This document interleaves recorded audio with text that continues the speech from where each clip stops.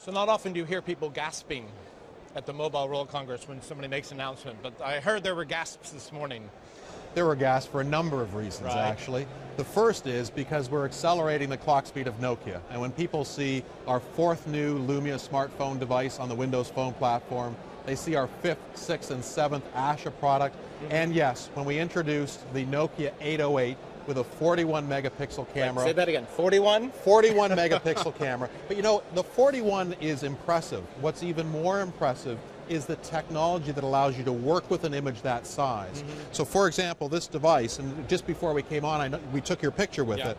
And you know, what you're actually able to do is, if you is zoom in, we can zoom right in, for example, and get a high resolution image of your left eye, as an example. Not just my eyes, not just my face, but my left eye. Exactly. And it it shows that consumers will be able to take great pictures, but work with those pictures and still upload them to Facebook or do whatever they like to Yeah. do with those images. Let's talk about how that phone fits into that strategy. Obviously, Nokia through a massive transformation. Mm-hmm. You're partway through this massive change. Yes. Is this the killer one? Is this the one that puts Nokia back in front? I think it is it is em- emblematic of the type of differentiation that we intend to introduce. We believe that one of the primary purposes of a smartphone is to help pe- people capture and relive their lives.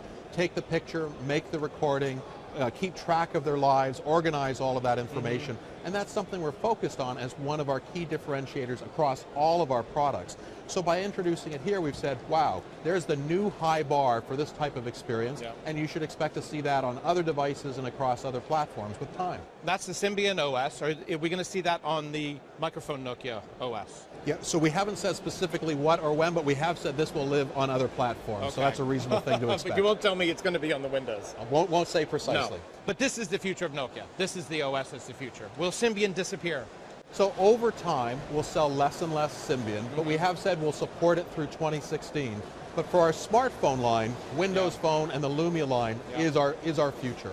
Where would you say you're on the road to recovery at Nokia? Where are you on the massive We're transformation? right in the heart of transition, right in the middle of it, where you're transitioning and restructuring and making Yeah. all of these big changes, and yet at the same time you stand up at Mobile World Congress and say, look at what we're delivering, look at the new products. You can see all of the activity behind us. You know, this is the strongest presence we've had at Mobile World Congress in years. The Yeah. booth is jammed.